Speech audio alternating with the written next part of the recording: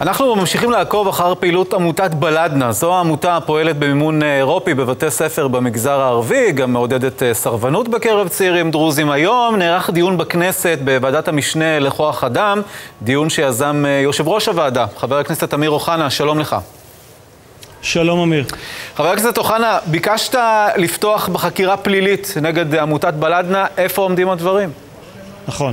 קודם כל, נציגי משרד המשפטים הגיעו לדיון היום.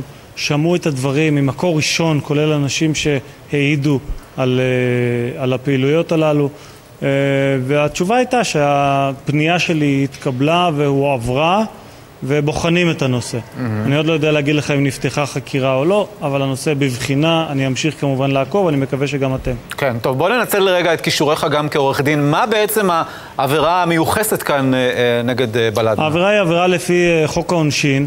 שקובע שמי שמשדל אדם שלא לשרת אה, בצה"ל, שהוא חייב לשרת בצה"ל, עונשו חמש שנות מאסר, כלומר זו עבירה פלילית.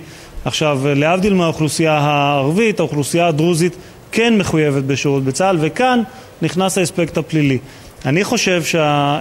וגם אמרתי זאת בדיון, שהעניין הוא ממש לא רק עניין של המערכת הפלילית, אלא עניין של מערכת החינוך.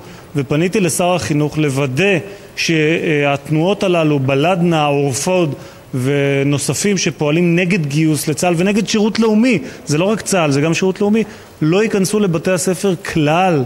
כן. זה דבר שאנחנו לא יכולים להרשות לעצמנו במערכת החינוך של מדינת ישראל, פעילות נגד מדינת ישראל, זה נראה לי מאוד ברור. אבל אתה שומע היום את נציגי צה"ל וגם את נציגי משרד החינוך בדיון אצלך בוועדה, מדברים על מקרים בודדים בלבד, כלומר יכול להיות שכל הפעילות הזאת של בלדנה, עם כל הרעש והתמיכה של הרשימה המשותפת, לא מצליח בסוף.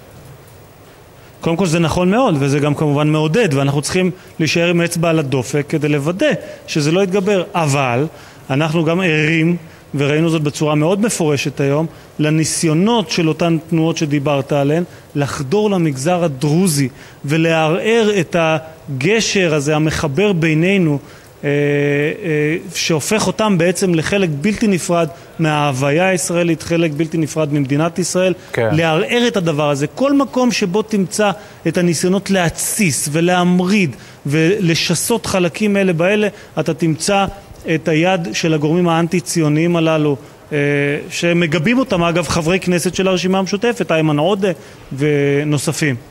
טוב, בוא נקווה שהחקירה הפלילית הזאת, לכשתחל, גם תמוצה. חבר הכנסת אמיר אוחנה, אני מודה לך מאוד על הדברים. תודה. תודה גם לכם, ערב טוב.